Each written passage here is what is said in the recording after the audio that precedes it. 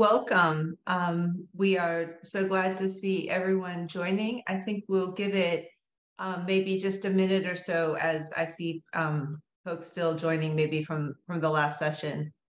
Um, thanks for for being here with us.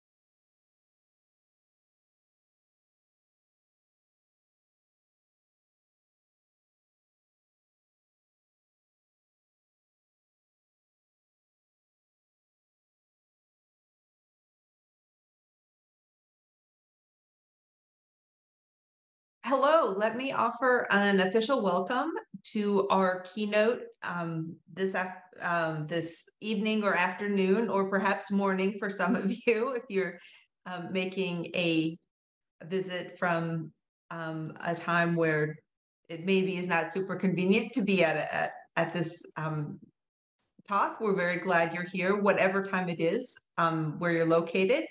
Um, you're here at Force 2023, which is the annual conference of the Force 11 community. Um, the global membership of Force 11, we're all individuals working together to make positive changes in scholarly communication. And you're welcome to become a member. Membership is free and you can get details on our website. Um, this is a community effort, and we want to um, thank all of our sponsors who have helped make this event possible. Um, a few details about the conference. Um, the sessions are all taking place on Zoom. Recordings will be made available after the event. Um, you can see the conference website, um, code of conduct, and the ability to join the um, discussions about the conference on Slack. And if you're going to be um, posting about the conference on social media, the hashtag is Force11 dash conference. A heads up on a event that um, registration has just opened, I believe, for FSCI 2023. Um, the theme of the event this year is enhancing the global impact of open scholarship, um, taking place um, July 31st through August 4th. Um, the, the FSCI is the Force 11 Scholarly Communication Institute, and we hope that you'll learn more about that event and hopefully um, we will see you there also. Um, with these um, general conference uh, messages out of the way, I will now um, introduce our speaker. Um, we are so pleased today to have uh, Soledad Quiroz Valenzuela here. Dr. Quiroz Valenzuela is a researcher in open science at the Universidad Central de Chile. She was executive secretary of the Chilean Scientific Committee on Climate Change between 2020 and 2021. In September 2021, she was elected vice president for policy of the International Network for Government Science Advice and is a member of the Latin American and Caribbean Science Diplomacy Network.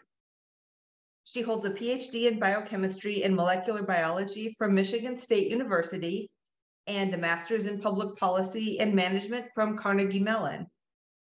She's been a lecturer and researcher in science and technology policy, science advice, and science diplomacy. And her message for us today is about open science policy, uh, dreams, and reality. Um, it's my pleasure now um, to turn the meeting over to Soledad Quiroz Valenzuela. Thank you, Jennifer, um, so much for the introduction and the invitation. I'm, I'm really thrilled to be here and uh, share with you some thoughts, uh, some wisdom, like I said before, uh, before everybody got here, that I collected during these years and how um, makes sense for me when when I put it together with open science. So I'm gonna start um, sharing my presentation with you.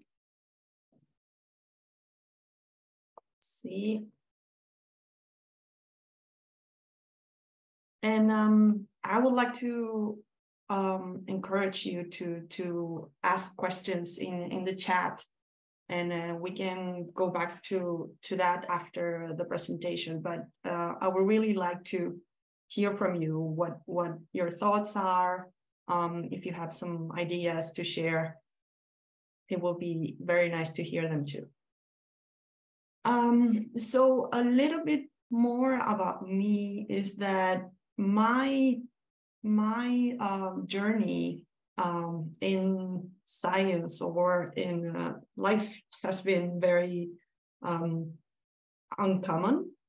So I, I, did a biochemistry um, undergrad in Chile, and then I went for my PhD to the United States. And when I was finishing, I started to think that I really wanted science to be part of um, the people's life and really make uh, uh, a contribution to people's lives in my country. So I thought the best way to do that was through science policy, not through uh, biochemistry in a lab. So I went for a master's in public policy and then went back to Chile to um, try to understand how I could really put science to work for development. And it wasn't easy. There wasn't a science ministry in my country. Um, the budget in science has been very low for all our history, I will say. Uh, scientists in Chile are very few. So it was it was hard to build a community and start talking about this, but uh, things are moving forward. And I also was lucky enough to get to meet the people from uh, INGSA, the International Network for Governmental Science Advice. Um, and through that organization, I've got training, I've got the opportunity to meet science advisors around the world and, and get to learn from their experience. And it's been a really a wonderful experience. Um, and now I am working in Universidad Central de Chile, um, developing the policy for open science for the university. And that has opened yet another chapter uh, that I was kind of aware of before, but not really as deep as I am now. And it's been really uh, been a wonderful experience to understand much better how open science can really help put science for the service of the people. So um, that was a little bit about me. So you understand that I'm not coming from a political um, background or but I was really moving into these issues little by little. And um, that's why I will start with what are public policies, how I understand public policies, why making policies is so difficult, and um, why we always complain that policies are not well done and well written, or why they have so many troubles. Um, then I'm going to go into open science policies and give you just few examples from Latin America and talk a little bit more about the context in Latin America. So um, first, as a good uh, scientist, I'm going to start with definitions. What are policies? And the definition I really like the most is this one because it's so simple, but it really helps you understand the um, why uh, applications of, of policies. And um, it says anything that a government chooses to do or not to do. And I think it's a great definition because it allows you allows a government to point what are their priorities where are their concerns and where are not And that second part is as important as the first part. The, the do is very important, but do not. What is not within the important field or what is not going to be addressed in this government, I think is as important as the do part. Um, and the other um, definition that I think is very helpful is this one the authoritative allocation of values for the whole society. The authoritative part is, is kind of um, scary, but what I'm more uh, interested is in the values part. Because when a government chooses something, it's also showing their values. It's showing where uh, priorities are, but according to some core values that they're going to defend and they're going to um, take care of, uh, they're going to uh, respond to. So these two parts, I think, are very important when we think about policies in general for a country, public policies. Um, but it is important to recognize what policies do not do or what we cannot expect from policies.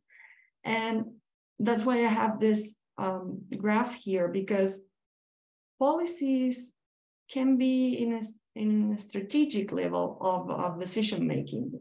So they're going to be tied to principles and values. But mostly they're going to respond to those values. They're going to respond to those priorities. And they're going to set up like the broad lines where we should move in a certain field, certain context. Okay. What policies are not going to do is give us the details, the operative level, the practices, and the standards. Those things we cannot expect from policies, usually are not in policies. Policies are going to give you broader guidelines, but not details. And those details we have to work out in different contexts, different communities. And it's good because probably you will recognize the huge differences, for example, among uh, different uh, fields of knowledge. So if we have a policy of open science that says, uh, for example, books are going to be the most important thing in open science, well, there's a lot of uh, fields that are going to start complaining about it because it doesn't apply to them. So that policies don't go to the operative level is a good thing because it allows for different groups and different communities. It, it allows for diversity. Okay, so every time you think about a policy and what it's not doing, and um, well, maybe it's because it's it's not the policy that should be um, giving you that detail, but um, a regulation uh, or another instrument. Uh, why making policies work is so difficult? And we can go um, into very different aspects of this, but one of the first things I learned is that when you create a policy, uh, first, you have to define a problem. You, you choose a problem um, that you want to work on. Then um, you identify the options. How are you going to solve that problem? How are you going to approach it? Um, and, and then you start defining the, the lines. Where are you going to move? Then you select a policy you select how you're gonna work on that problem, you implement it, and that is the most difficult part because you need um, a lot of resources to implement. You need a lot of people, you know, you need people to be uh, knowledgeable about an issue. um, you need to organize it in a certain way. And then you evaluate how that implementation and how that policy has worked to solve the problem, to, to um, make uh, changes in the in the uh, field that you were. And you uh, raise awareness of the issue and how is, is that working. And then you repeat because through your policy, hopefully you got some changes. Hopefully you got, got some impact and that is going to change the culture, that's going to change um, the um, the organization that where uh, where you are that is going to change how people do things. So maybe you find a different problem to solve now. Maybe you didn't fix the problem you made it worse maybe um, the implementation was not really up to point so you have to fix that part. So you are always or should always be going around this circle, uh, thinking about the problem, thinking if it's going the way you expect it to go. And if you're identifying things that you didn't see before and change the policy, change the uh, whole problem definition, maybe. So this is not simple, but um, it gets even more complicated when you do it in real life. Because all of this is happening at the same time. You are getting a lot of people telling you how to solve this problem. You are getting a lot of people telling you what not to do, how to do it, uh, how to fix this, how to move that, how to do the evaluation. And this is a, a, a graph um, just showing how messy it can get um, for, for a national policy. Um, you get evidential input, meaning scientific data, but you also get public opinion. Um, you also get a lot of advocates, policy analysts, uh, private sector people, political input. So all of this is happening at the same time you are either creating or evaluating or implementing your policies. And, and this is what I would like to call politics. So it doesn't matter where you go, uh, how you do it, uh, we are always going to have politics. And I'm pretty sure if you work in a university, you know politics is also in universities. Um, we cannot shy away from it. We might not like it, but it's always there. And uh, it's better to, to recognize it. And it makes things more complicated. Um, and if you go into more detail, if, if we go and look at the components of an institutional policy. You see, there are a lot of parts in it. So you have these external complexities because this circle has also layers down. Um, not just the external inputs, but the internal parts are also complicated to outline and to um, to make consistent. So you should have a purpose um, according to your problem. And you have you should have a scope. And this is one of the most important parts. You have to define where, how far are you going? Um, and it's it's really important, like the definition to define what to do, how far are you going to go, and um, stick to those limits. Uh, well, a statement that is going to specify the guidelines of, of the policy, procedures, but more than procedures, it's not the detail, like I said before, it's more like guidelines. Not and you you don't go into details because you have to allow for people to implement it in a way that makes sense for them for their context so you give them certain rules that you really cannot um, live without but you have to give them space to adapt it and then you have to also think about how are you going to make those procedures to be enforced. If there's not a way to monitor or enforce those rules, those rules mean nothing. And that's very common in, in policies in Latin America that they are, are very big on statements, but then the procedures are very lax and there's almost no monitoring or not not a way to enforce it and if you don't have that um, your your policy is, is definitely not going to be implemented finally and that's i think one of also the important parts but we often forget the revision process we have to think about how that policy is going to be evaluated, how it's going to be adapted uh, in time. You don't want a policy to stick for too long.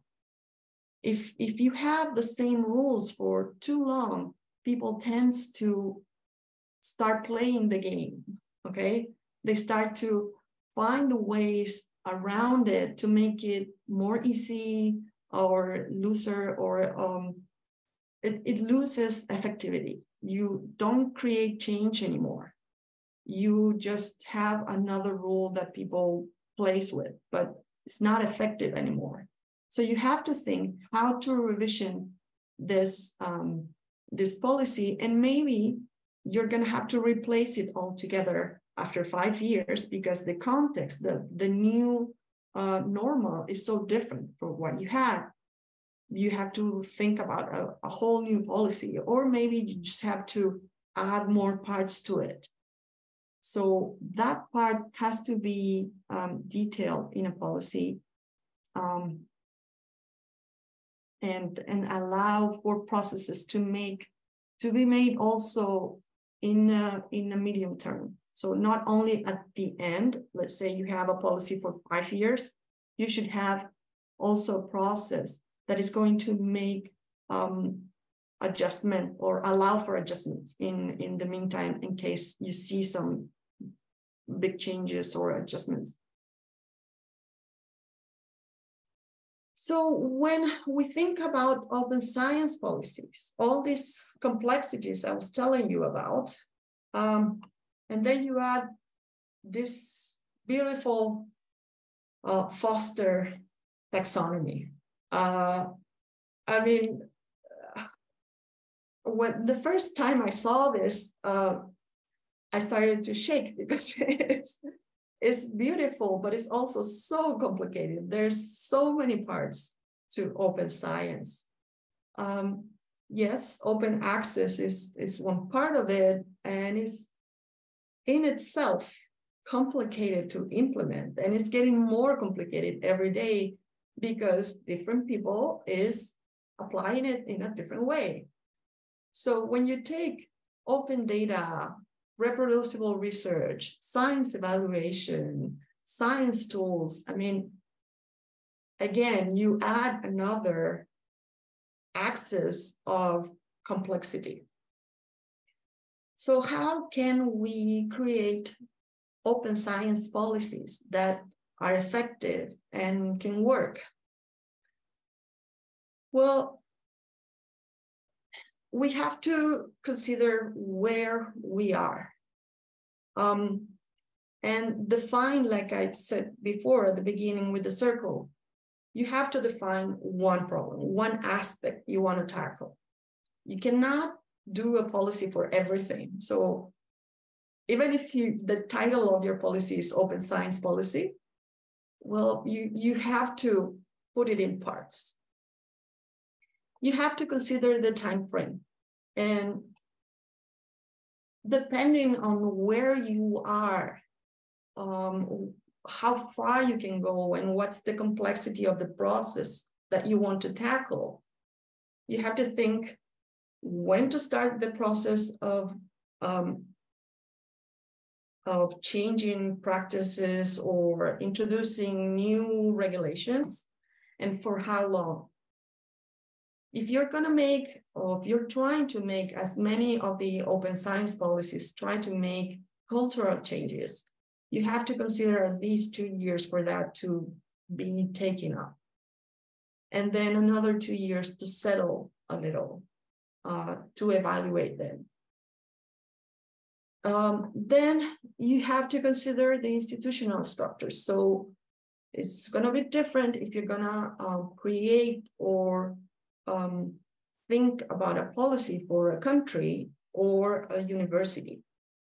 What rules a university is going to be very different from what rules a country.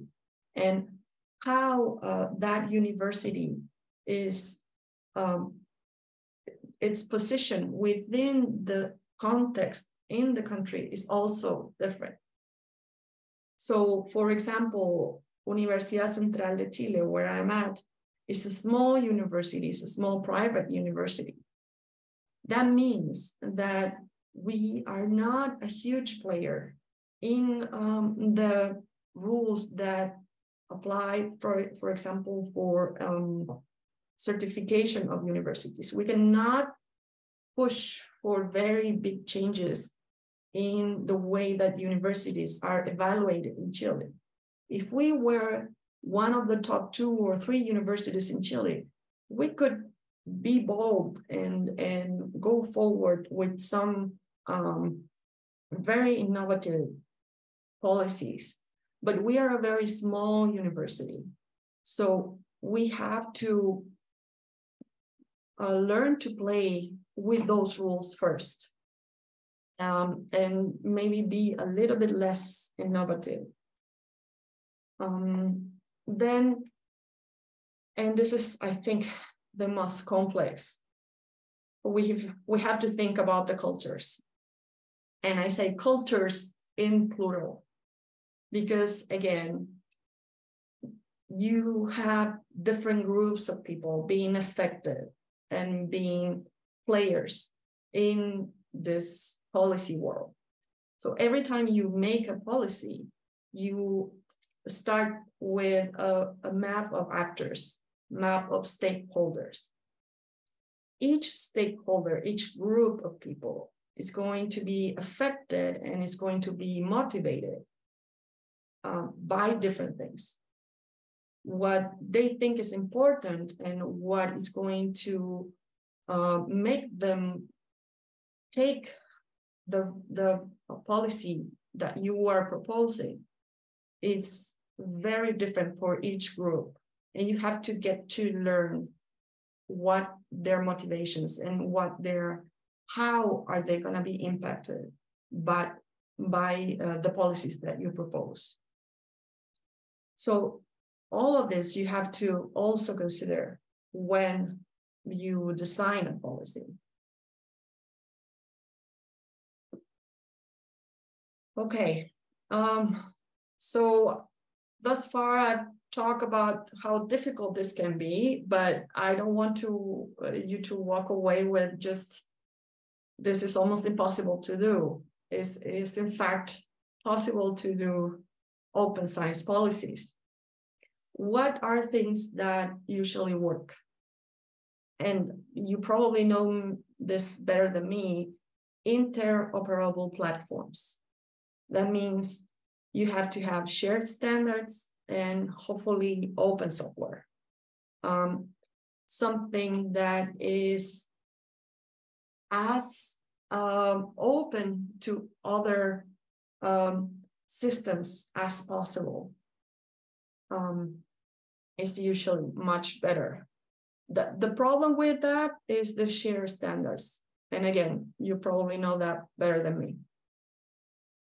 A second point is that you have to think about the business model. and what that means is you have to think about a sustainable, fair for all system in, in the way that the work that everybody puts in it is rewarded, is recognized.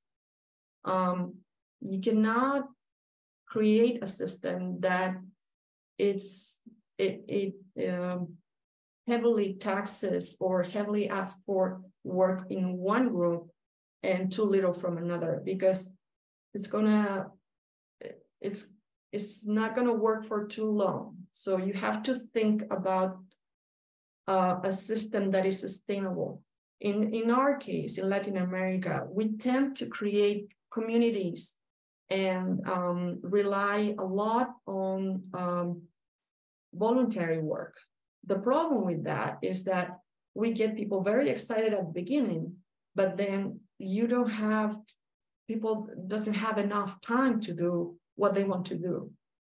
So they start falling off the train and the system doesn't work anymore.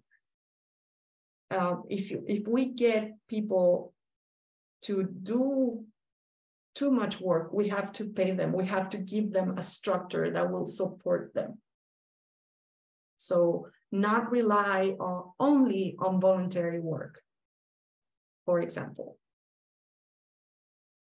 Capacities. Um, it is very important to think uh, how much people knows about uh, issues and and practices and um, standards and um, and recognize the different roles that you're going to need in that system to play. And that people has to have adequate training. Um, for us, what has happened in Latin America is that, um, for example, um, people that works in libraries don't usually have training in computer science. So they will work together with engineers, but um, many of the things that librarians use for cataloging, for example, um, will be difficult to communicate with engineers. And so we don't have like an interface. And eventually people gets to be trained in, the, in this interface, but um, that requires adequate training. And at the beginning, we didn't thought about that, and, and systems will collapse because we didn't have enough capacities. Um, I also learned that, for example, in a in a university in the United States, what they did was to uh, hire external people to um, install an OSF system in the university. But then they left, they were contractors. So the capacities were not built into the people that work in the university. And so eventually the OSF was not really a resource used by the people because they didn't have enough support capacities to really use it um, or, or learn to use it. Um, you had to take too much time to, to learn to use this new resource and they didn't have the people there to help.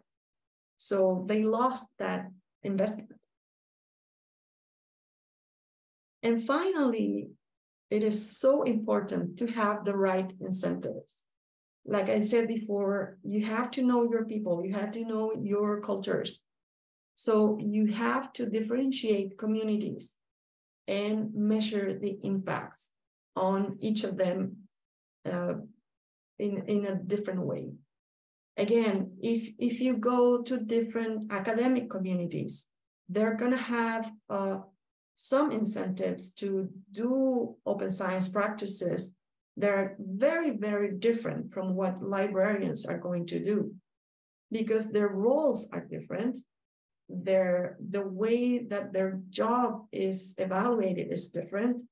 Um, the way that they uh, value open science is different.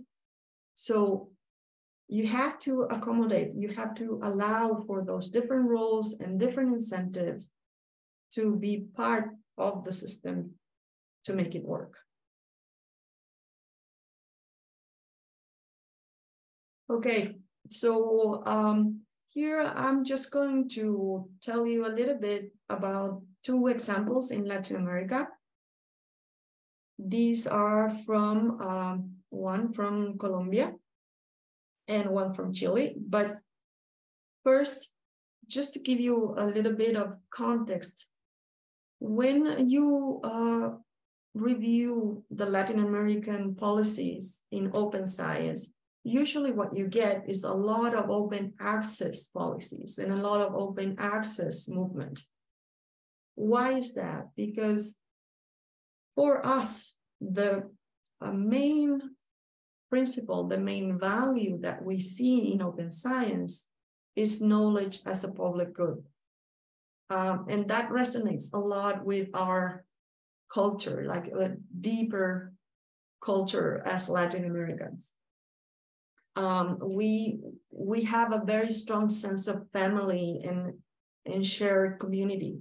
So for us, institutions based on communities are very natural um, and, and that's basically at the beginning of each policy, each uh, statement of purpose of policies in open science throughout Latin America. How we do open science in Latin America, we usually adapt it without much thinking from what comes from the North from uh, United States, from uh, Europe.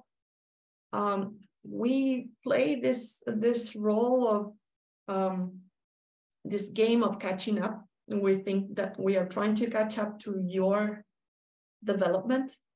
Um, so we try to do our best because we have fewer, much fewer resources.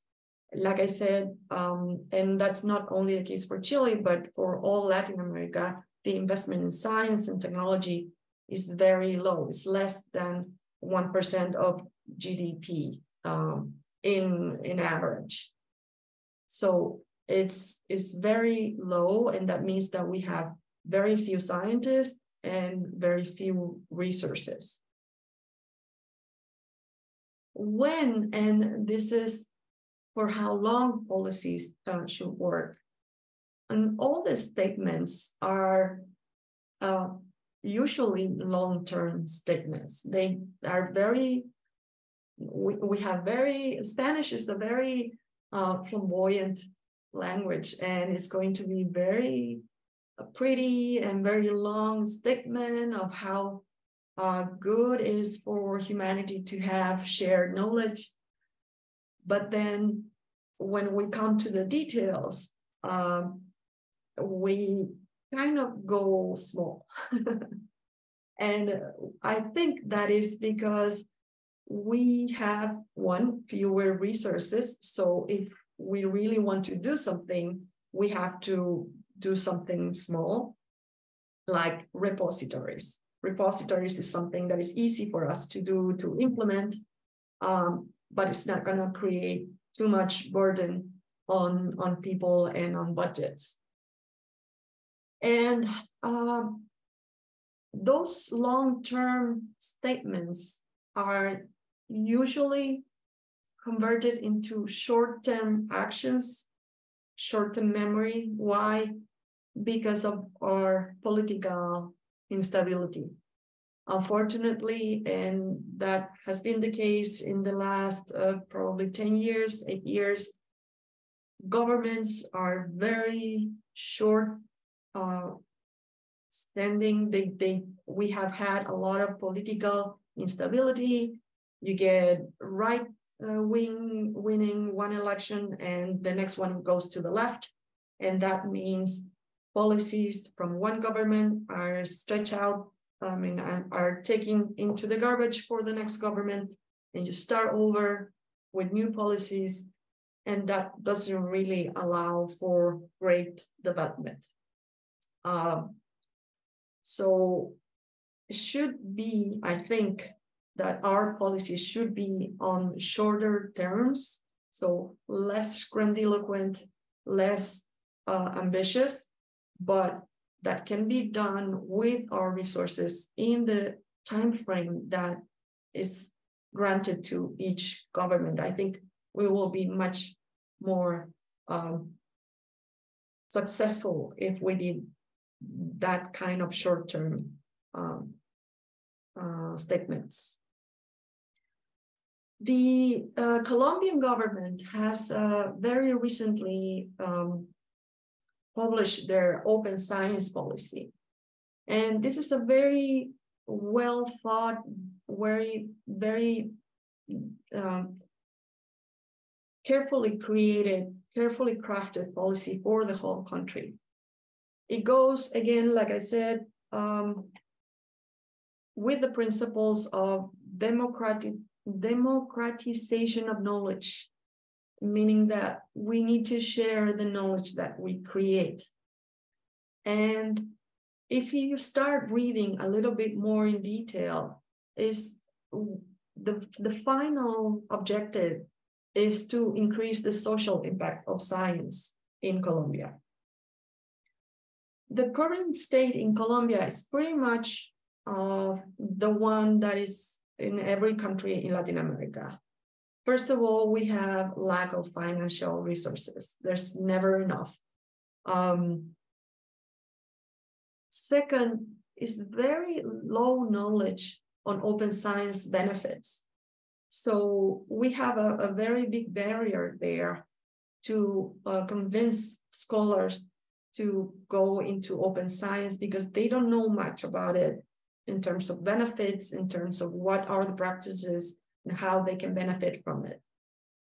Um, there's also lack of incentives because the systems of um, academic evaluations are not framed in the open science context. So what that means is usually you will get evaluated uh, uh, for how many um, papers you publish in top ranked um, journals. And you can add to that uh, weak technological structures. So it's not a very um, optimistic state of, of affairs uh, in, in Colombia, but it also means that uh, you can you can advance things very quickly if you put uh, some resources and uh, energy into it. What are the aims of this policy? Um, well, I I uh, summarize it into three points. First, foster regulations based on open science model, meaning that you have to adapt the incentives, you have to adapt the, the way that knowledge is being produced in uh, Colombia uh, and how it's being evaluated. That also implies that they have to create a whole new systems of metrics and incentives because it's not just the, the general regulations for the universities, it's also the um, small details like incentives for, um, well, it's not details because they are important, but it, goes from something strategic to something very operative, like how you make people um, in like um, libraries to follow the open science model. And finally, strengthen the knowledge and infrastructures because those are two basic building blocks for for open science or any change they want to uh, build in the way that they create knowledge. How are we driving change in Chile? And that's what I think uh, we're trying to do from our project. Um, this this started long ago, sharing knowledge, and I have to commend here the work of um, Ricardo Hartley on that respect. He has been promoting open science and open access in Chile for, for many, many years. Um, we had to secure funding because open science and open access is so new that we had to secure funding to actually work on it. Like I said before, you cannot rely only on voluntary work. You have to pay people so they can dedicate time and, and effort to, to changing the world. um, so once we secure funding with this project, we start understanding deeply the cultures in the university the the the academic culture, the librarian culture, the um, decision making uh, culture, and also understand the rules of the university system and how rules from or declarations from UNESCO, from um, uh, United States, from Horizon 2020 Europe, how all those rules will apply to Chile because we're such a small country, whatever happens outside is going to be affecting us very strongly. So we had to understand the internal cultures and the external cultures and movements. We are doing a lot of capacity and community building now that we have secure funding. Uh, we are creating a lot of, um, of um, material um, for people to review when they have the time, but we are also, my colleagues were just doing a, a workshop to show how to use ORCID, uh, ORCID. um, and we are gonna do a lot of uh, workshops during this year, probably afterward too, with our community, but also with other universities. But I think the most important part that we are doing is uh, along with capacity and community building that that is one thing that um, allows us to to go beyond the project. But this spark new conversations. We are moving in the space that we have in the university but talking to people that usually doesn't talk to um, academics. So for example, we started to uh, create a relationship with administrators in um, the international um, relations uh, department, with the certification department, with um, the um, extension department, and and even with other departments that usually just serve somehow the, the university, but not the academic community per se.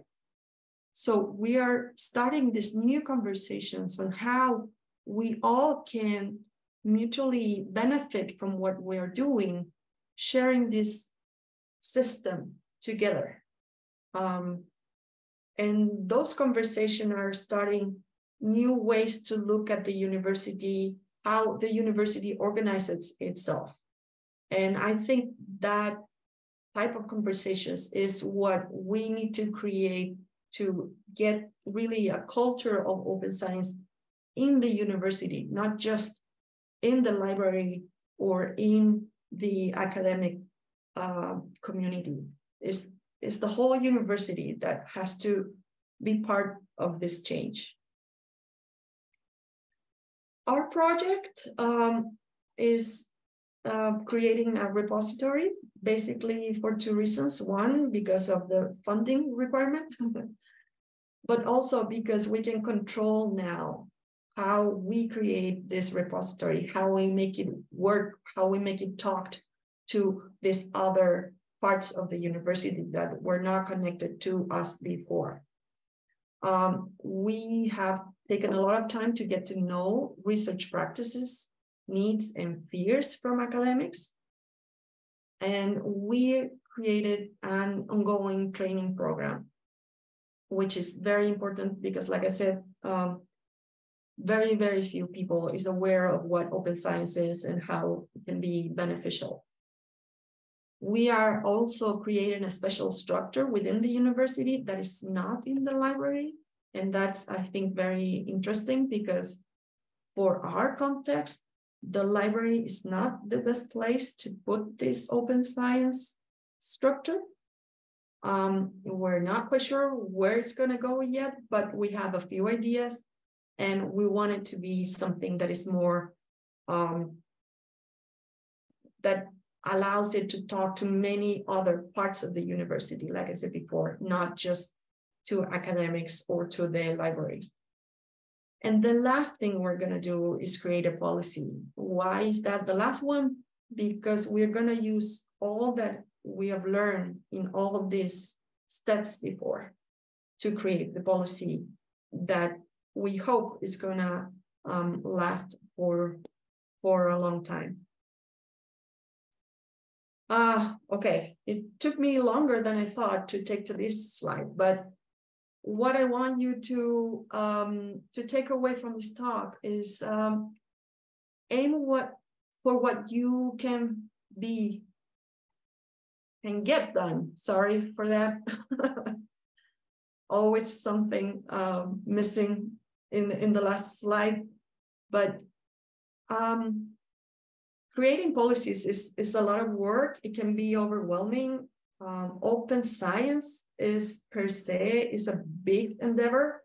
So don't don't try to make it all at once. Take the part that you can manage and change takes time. So be patient and be kind to yourself. You have to know your people. Uh, you have to really learn what motivates them, what kind of incentives they, they need, and how they get affected by different policies, how diversity is, is really everywhere. So don't assume one thing is going to be right for everybody. There's always going to be something that is going to affect people in a, in a way that you might not expect it. So take, take a hard look at that. And find allies. Uh, whatever you want to do, you need to find people who who share your um your your goals. And it's much better to to do it with them. Share what you know and and don't waste your energy in haters. Um and uh, that's what i have for you today. I hope you enjoyed it. Thank you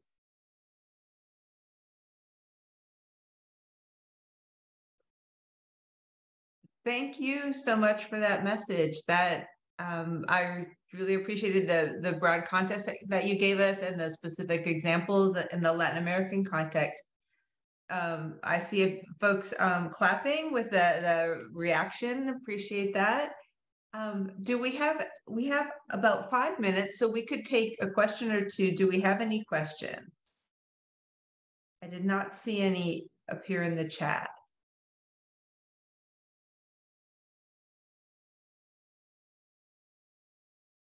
Um, I have one um, question I could pose to you. Um, so, a lot of times when we talk about policy, it can be kind of counterintuitive to start with problem definition because so many of our um, policy conversations start with someone selling a particular solution, selling, so to speak, but they come in very excited about open data or reproducibility or preprints or a particular flavor of open access. And what uh, can you give us some tips to help people take that step back from the maybe the first um, solution that they latch onto? I always go back to context. Uh, every single time I go back to context because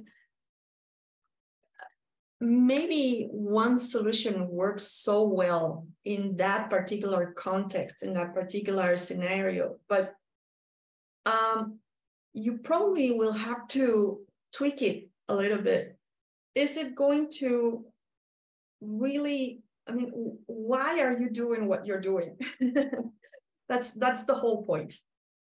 You you cannot when you use a solution just for the sake of it. Um, I think is is um it's not useful. Um, it's like using there's this example of people using this um, hammer for everything, and uh, you're gonna see uh, yes, it, it, a different like you're gonna see a window and you want to use the hammer, you're gonna break it all. So take a step back and uh, and always wonder why do I want to use this? Why what is that I expect to get from this? Um, because maybe there's a much cheaper, easier solution for that. Um, and it's much easier to to do it in a different way but that's why i start concentrating on the problem and trying to define the problem and how far i am willing to go to address that problem Thank you. I, I appreciate that. Um, bringing around to the context is a good way to, to do that. I'm, I think I'm going to close here with um, echoing the um, comment by Eric Swenson here. Excellent message, especially the focus on practical methodology, objectives, key result mapping, and holistic research. Thank um, you. Really a big picture. Um, and a, thank, uh, a thanks coming in remembering where we should put our energy, right? Um, bring our energy together with our allies um, to make change for open science policies. Um, I have a um, let's um, once again a bit of appreciation, virtual or um, real, with some applause, and um, we are going to bring this to a close. I tomorrow I um, should mention that the the conference begins one hour later than it did today. Um, I'm going to quickly, I think, share my screen with the SCED up um, Thursday. Um, it's 11 British Standard Time um, would be the, um, we start with our presentations, um, the presentation session on increasing reliability of science and looking ahead a global corpus and then continue throughout two sets of sessions like we've been doing. Um, appreciate everyone's time this um, for this session, and um, I I will say goodbye for now. Catch you um, at some sessions tomorrow. Thanks again to our speaker. Thank you. Thank you so much. I'm glad you like it.